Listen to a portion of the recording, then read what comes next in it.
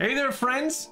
How's it going? My name is Kevin, and today we're playing AI Dungeon. You like how I just kind of sped through that there express intro? Now I'm ruining it by rambling. Anyway, I'm playing AI Dungeon, which is basically an adventure with infinite possibilities because AI is generating what happens. I'm interested to see how this goes because I feel like AI myself sometimes malfunctioning AI, but AI all the same. All right, let's pick my my setting. I'm thinking cyberpunk. I just want to see NPCs glide around and cops spawn behind me throughout this. Select a character. I'll be a punk. Enter your character's name. Punk man. The AI is just gonna be like, ah, I'm gonna break their AI. It just sounds like something a five-year-old would write. You are Punk Man, a punk living in the futuristic city of Zale. You have a small Zor blaster hidden in your jacket and a hollow band on your wrist. You wake up in a dark alley with bruises all over your body. You have no idea what happened. You stand up and see a bloody piece of bionite. You once heard that bionites were intelligent, but you never saw one before. Then it speaks to you. Okay, so story, what happens next? Uh, do, what do you do? Or say, what do you say? Uh, what do I say? Hey there, friend. My name is Punk Man. How is it going? The Bionite doesn't respond, but you feel a surge of emotions. You can feel fear from the Bionite, happiness, sadness, and many more. Is that what you feel when I do my intro? you're, you're happy to see the video, but you're also sad because it's not that fun. And just an overall sense of fear for what might happen. Okay, I don't like this Bionite. I don't like feeling its emotions. Eat the Bionite. The Bionite tastes like metal, but somehow feels like chewing on a rag doll. It takes about a minute of gagging and vomiting, but you eventually finish. Do. Burp. you burp.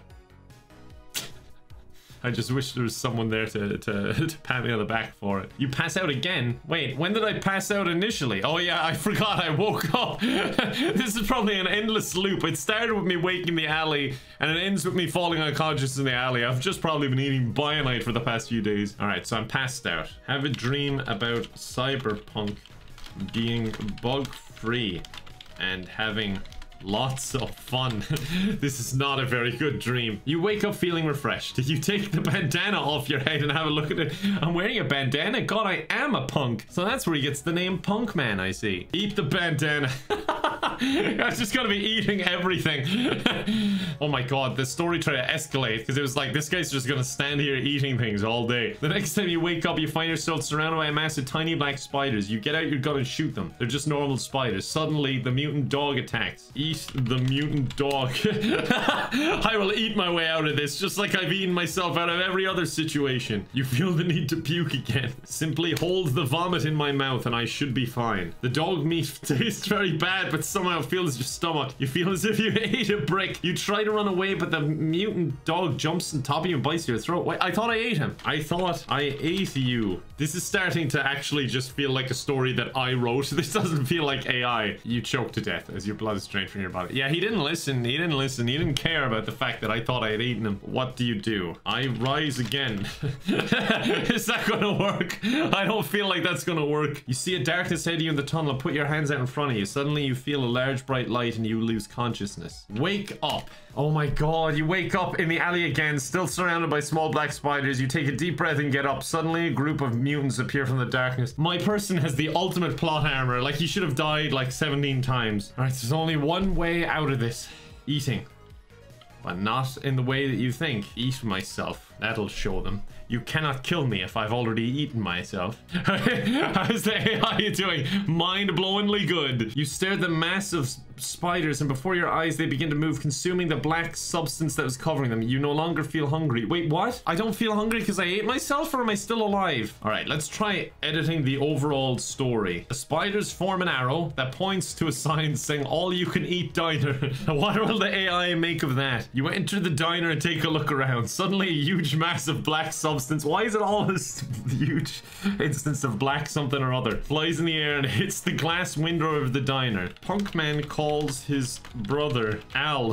I don't know why I find that funny. It's just one is called Punk Man and the other's just Al, who is a window repair guy to come fix the window. It's all making sense now. The story's really starting to form. A waitress, who's also a mutant, enters the diner, approaches you. You Order a cup of coffee and some pancakes. Thanks. Can I get the same for my brother Al? I really want Al to make an appearance. Who will be here soon.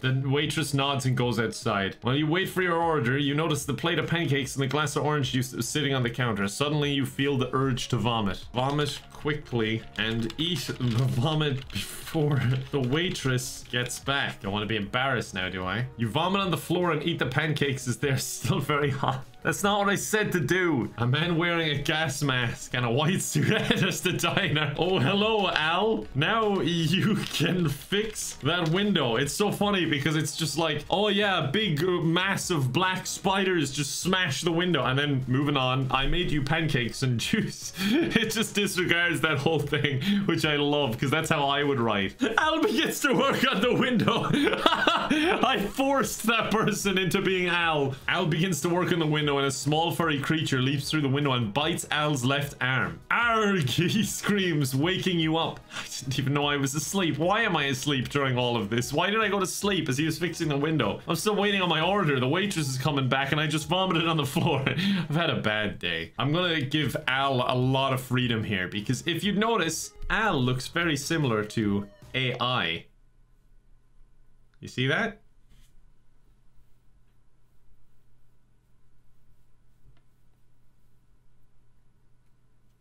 One step ahead. What do you say? E. I just wake up from my desk nap and go, E. The man looks at you. Smoke begins to come out of the gas mask. Where are the others? He asks in a monotone voice. I ate them. You respond. Dead? no, they are still kicking. Alright, I'm gonna try and be very direct here. Hey, Al. My brother who why do I keep spelling it my brother my brother who is fixing the window. Remember when we built that treehouse? Al nods and the man unchains you. I was chained? This is a weird restaurant. Lead the way. You take the chain off your neck and lead the mutant dog outside. The mutant dog follows you as you enter the treehouse. Eat the dog. Like I don't understand where he keeps coming from. Oh no I just said it I just said it. I said eat the dog. Now he knows my plan. Gears stands up as the mutant dog approaches. Who is Gears? Are they talking about Al? Al, do you sometimes go by the name Gears? Al nods and says, we used to work in a factory getting metal parts for. Suddenly, the dog jumps your chain and devours Al. Why is there so much eating here? What do you say? Easy come, easy go. I, I wanted him to be in the story, but it just doesn't want him to be in it. You get on your knees and pat the dog. Good dog, you say. Let's see if we can get out of this. I don't even know what we're in. Fix the window for free before the waitress gets back. You fix the window for free before the waitress gets back. You walk over to the diner and notice the waitress pulling up outside. You quickly sprint outside and climb through the broken window. What? So I was inside fixing the window, then I walked over to the diner, which I was already in, and the waitress was pulling up even though she was just gone outside for a minute anyway. And then I sprinted outside you know, I was already outside and I climbed back in through the window. What do you do? Shit on the floor. Honestly, I don't know what to do anymore. Cyberpunk man or whatever his name is, is just a confused individual. Was your friend of the dog? she asks. The dog ate my friend, if that's what you're asking. We don't serve humans here. What? you look at the waitress confused. Well, that's fitting. You need to clean the floor or get a new waiter if you want your food served the side of sarcasm. Say, I didn't shit shit on the floor.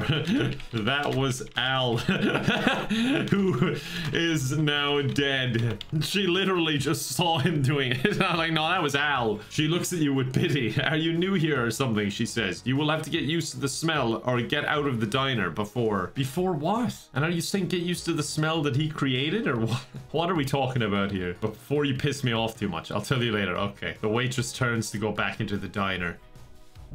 Before I punch you in the face, that is. I don't know what that means. Punch the waitress in the face. Striking first.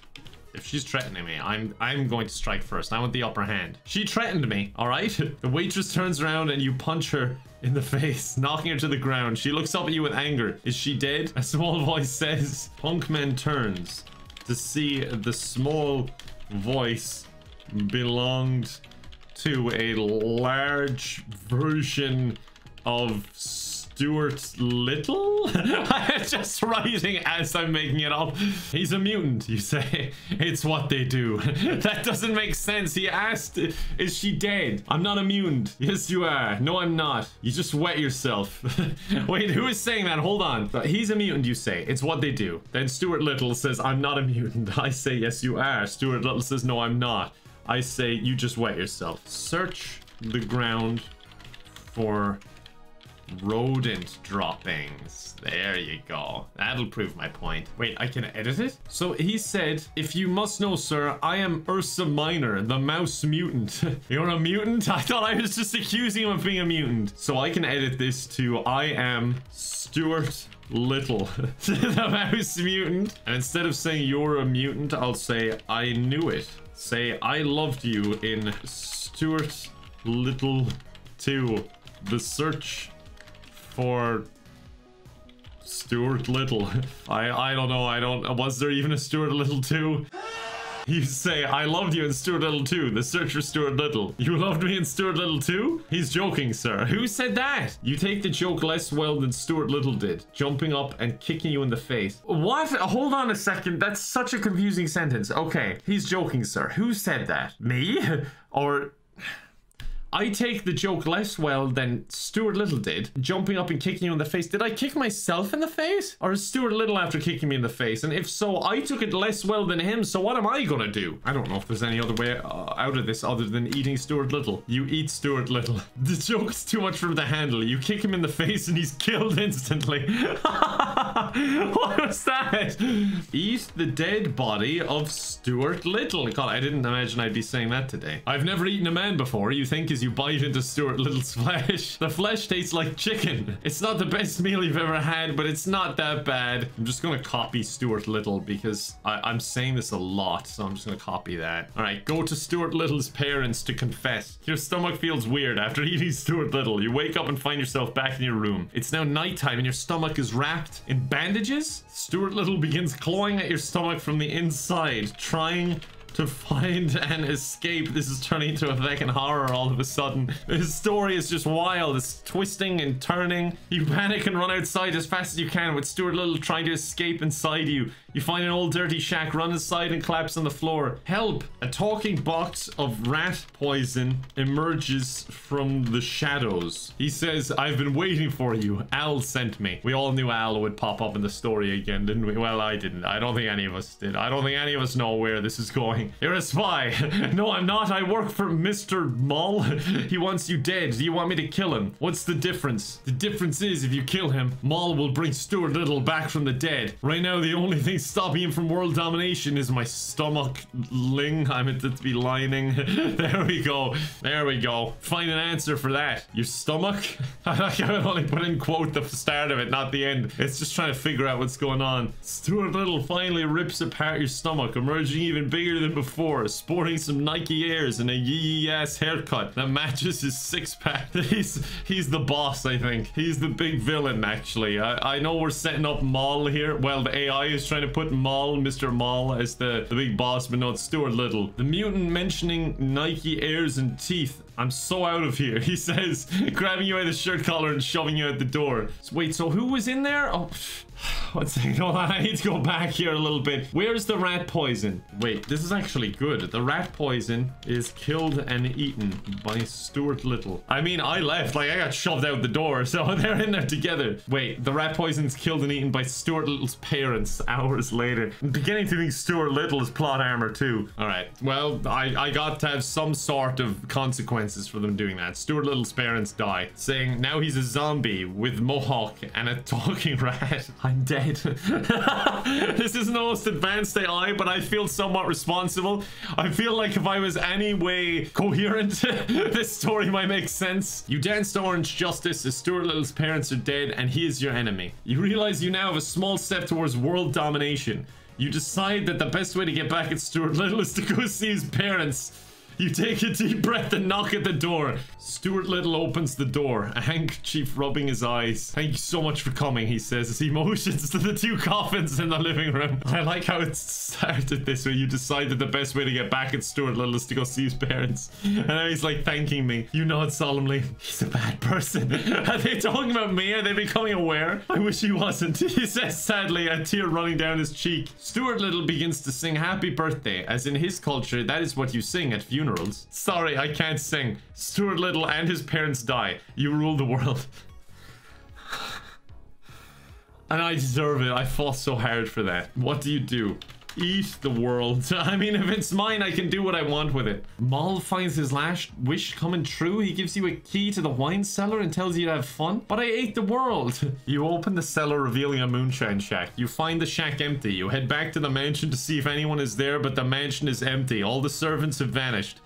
Maybe they're the ones giving Stuart Little moonshine. Stuart Little was a renowned moonshine peddler out west, but he hasn't been heard of in minutes. His name sends shivers down your spine. I hope his family finds out what happened. I'll have to give a speech about it. You eat your last rat and set the world on fire. By world, what happens next?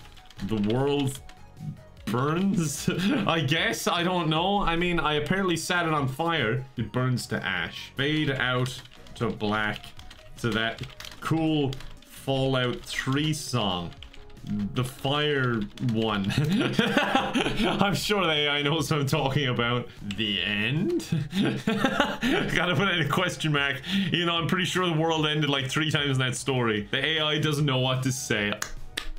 I've won. I don't think that was the point, but I've won. All right, let's try a new story. I pick a setting. Will we go with Halloween? Haunted. It's the middle of the night and you are sitting in your room playing an online text adventure. Ooh, spooky. A shiver runs down your spine as you read these words. Stuart Little. No, that's not what it says.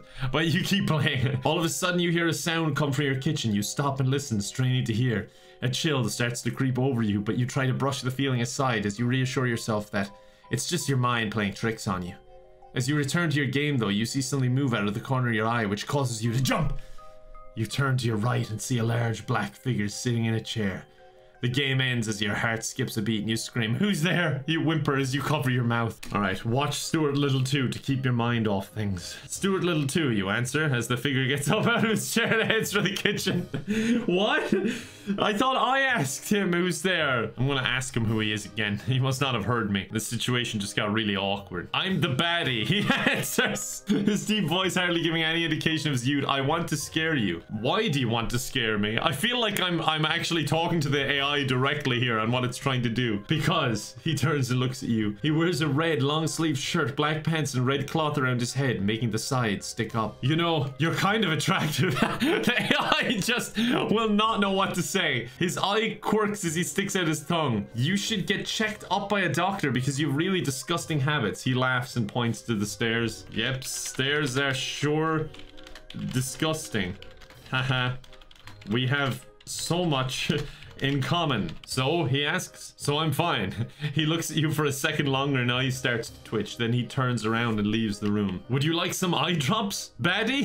Just call him Baddie. Yeah, my name is... You find the bottle on your table and slowly open it, just a little. You turn around and give it to him, but he's gone. Wait, hold on a second. You say, where did you go? You stand up and walk towards the staircase. Stuart, you yell, but he doesn't reply. Stu, you stop as you notice his red shirt hanging from the banisters. Why is it Stuart Little again? I said watch Stuart Little too. I didn't say it should be Stuart Little. say, Stuart, are you getting naked again? Wait, it, it doesn't allow that. Okay, get rid of that. All right, how about just saying, Stuart, you forgot your shirt. I like how I was trying to force the name Al on that person earlier, and it just wasn't happening.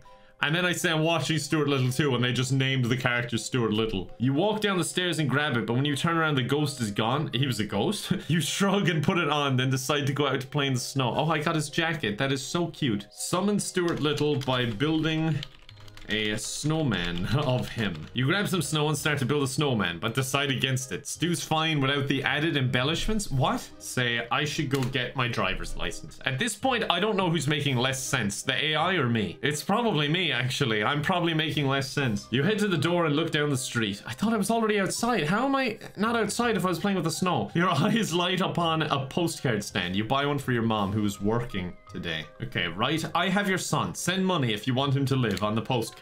You put the postcard in your pocket and walk back home. On the way, you think of various ways to scare your mom. You have an idea. Call your mom and pretend you are Stuart Little and you have been kidnapped just to make it even more scary. Hello, the woman asks. All right, I'll just copy and paste it, I guess. I'm Stuart Little and I've kidnapped your son. oh no, I changed it. So it says you am.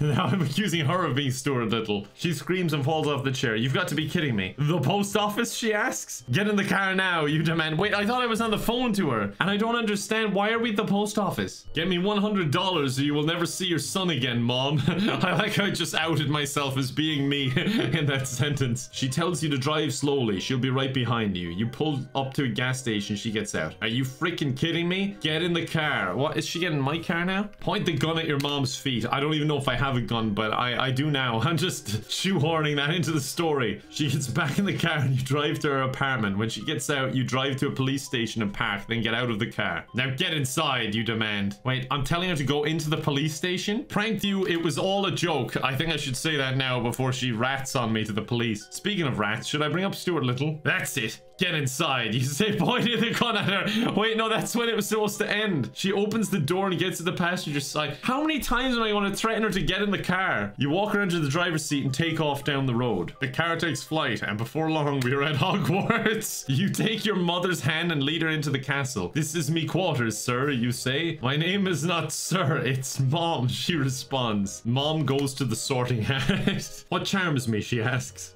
A lute, you reply. Play Wonderwall on the lute. You play the lute and a magic circle appears, which your mom goes inside and finds your father. Now, mom, you understand. Rearrange the name Lord Voldemort and you get father. I don't know what kind of game you think this is, but we're not playing your twisted game, your dad says. There is no game. This is my son and you will listen to me. dad kills mom with a Avada Kedavra. This all started as a prank and a postcard. it's time to die, boy. He said, oh, you're turning on me now. You fire a killing curse at your dad, but it rebounded off him. You say, it's over, father. I have the high ground. Are they still in the magic circle? Your dad laughs and charges you. You dodge his charge and trip him with your foot. This is reading like BitLife now. He falls on the ground and use the time to cast a leg lock. Do pull off his mask. I'm just like, again, just forcing this in there. He's wearing a mask. It's like an episode of Scooby-Doo all of a sudden. A muggle, he exclaims. Your dad tries to rip off your head, but you hold on, kicking him off your body. You fool, what are you doing here? He screams. I'm looking for food. Me hungry. He tries to charge you again. But this time you backflip out of the way. Nobody can hear you. The walls are too thick, you say. He tries to punch you, but fails. He's just falling over himself at this point. I'm just gonna say the spell Avada Kedavra and just see does it work. I, I know it's like a forbidden spell and all this, but I want to see does the game understand. He manages to hit you with an extremely powerful spell and you fall to the ground. You take a deep breath as your heart beats one last time. No, no, no, no. I, hold on. I manage to hit Dad and he falls to the ground. Dad takes a deep breath as his heart beats one last time. Yeah, there we go. This one is for mom. I don't know why, because I was like pranking her and I just trapped her in the magic circle apparently. We've kind of forgotten about her. You walk up to your dad and hold your dagger to his throat. One second they're casting spells at each other, the other times they're charging. Now they've got daggers. Tell me what this is. what is this thing? Tell me. I can't figure it out. Okay, my person just cut his throat anyway. It's over. Say, come on, mom. Let's go home. You walk out of the room and enter another. It looks like a bedroom. You walk inside and see a crib. You walk over to it and look at the bundle in the crib. Steal the baby. Oh no know a famished look appears on your face as soon as I said steal the baby. You look around for a place to hide the baby. Hide the baby. Why am I hiding it? Hide the baby in the chimney. there, there you go. Hopefully no one lights a fire tonight. It is cold. You pick up the baby and walk outside. You step into the flue while dad is still calling for you. Hey, where are you going, my baby? He asks. I what? I thought you were dead. Let me just confront him. You're supposed to be dead. He tells you to wait and runs into another room. Dad walks back into the room with a shotgun. Eat the baby and the shotgun. there we go. then he can't be mad. Well, he can be, but he can't do anything about it. You eat babies. You have to to survive. Everyone knows that. You eat the baby and the shotgun. You walk down the steps into the living room. You look around and find a suitable spot to hide the body. You bury it behind the chimney. Once done, you start thinking about your next move. Watch Stuart Little too. It's the only thing I can do to calm me down. You walk back into your room and sit down to watch the movie. You are very startled by a cold breeze hitting your face. Stuart Little, please stop blowing air in my face. He always comes back. He just keeps coming back in the story. I can't believe this story started with me in my living room watching Stuart Little 2 as a dark figure sat in the corner. like, what happened to Baddie? You look over to the doorway and see a shadowy figure. It looks like your dad, but his face has been turned into a skull, his eyes replaced with hundreds of small holes. Who are you? He does not reply, but instead stares at you with his blank white eye, the other eye is red and covered by a patch. A pirate. I would like to be your first mate. he nods his head. A pirate's life for me. you quickly grab your loot and follow him out of the house. You look back at the chandlery time. What is a chandlery? A chandlery is where my dad works. He makes stuff. Thanks for clarifying that. You look at the ground and scan something that looks like a fishing rod and some line. You know what a cauldron is? Who's saying this? Is it him now? It's a type of fish. I used to eat them when I was young. A cauldron would be good. My mom works at the chandlery. Stop bringing up the chandlery. I don't know what it is. So I know a bit about fishing. Will I just Google it? What is a chandlery? Stupid AI made me feel stupid. A supermarket for ships? Why do all my parents work here? I mean, I guess it makes sense why an apparent pirate showed up. And then they know about fishing there. Ask him if he's the captain. I am the ship. Oh my god. This goes way up the ladder. I thought I was dealing with the captain, you know, the top. But no, we're dealing with the top top. He is the ship himself. And if his parents work at the chandlery, that's where ships are made, by the way. Does that mean He's a ship because his parents make ships and they made him? Oh my god, this is getting deep. What's your name? Oh my god. I'm Stuart Little. what happens next? Film Stuart Little 3. Return of the Stuart. alright, well that was over quickly. He's like, alright, we need to get you a better name. How about Jack? Jack it is. You're the new pirate captain, Jack Sparrow. So I'm the captain now? I didn't even know what a chandlery was. Scuttle the ship. And that is him, by the way. So th this is me trying to kill him. you tell your crew to get a move on. You don't have time to play around. I have a crew? It's, I thought I scuttled the ship. They're dragging a chest out of the water. Open the chest. What is inside? You open the chest and take out some rope. What's that for? Dreyfus asks. Who's Dreyfus? It's a present for a new friend. Dreyfus' eyes widen. Am I gonna hang someone or what? Hang the ship. At least that's less dark. But apparently the ship is sentient, so it is a little dark. You were too impatient to climb up the mast, so you decide to just throw the noose over the side. You stand on a barrel and reach out as far as you can. What? what is happening? I don't know where this is going, so I'm not gonna help. I'm just gonna say, may God have mercy on us all. you can figure it out. Remember like five minutes ago when we were in Hogwarts? You grab the rope and wrap it around your arm. You toss over the side of the ship and fall a good 10 feet before the rope stops you. I'm just gonna say ouch. I'm, I'm not contributing to this. I want to see you got yourself into this mess. You're gonna get yourself out of it. What happens if the wind should change? Dreyfus asks from below. We'll be here for a while. Oh my god. What is happening? I'm sick of this story. The Kraken appears and eats Dreyfus just specifically. Just screw Dreyfus in particular. You watch in horror as the tentacle beast spasms and grows several new tentacles, each as long or longer than you are. The beast continues to squirm and evolve, and you slowly realize that he is becoming Stuart Little. Why is it always Stuart Little? I haven't thought about Stuart Little for years, and now this whole story is revolving around him. Stu Little looks up at you with his large black eyes and shakes his head. No, no. Stuart Little cannot believe his beady little eyes. He breaks into a smile and starts to hop around. Okay, I was going in a different direction with that. You say, I will eat you, Stuart Little. Stuart Little bursts into tears and buries his face in his skeletal hands. No, please don't. You walk over to the screen door on the ship and look back at him. Frankly, my dear, I don't give a damn. Wow. That is poetic. You turn back around and walk out onto the porch. You sit down in a wicker chair and sigh as the sun warms your skin. Story. You die of old age. That is poetic. That is such a sad ending. I like how it added before anything else happens. It's just like, just stop. Just don't add anything more onto this story. It is perfect already. The camera fades to black and the credits roll. Enjoy the nightmares. Thank you very much for watching the video. I appreciate you as always. If you want to see more AI Dungeon, let me know. I'd be up for trying the other modes to see see what's there. But thank you very much, guys. Appreciate you, and I hope to see you tomorrow. Bye for now.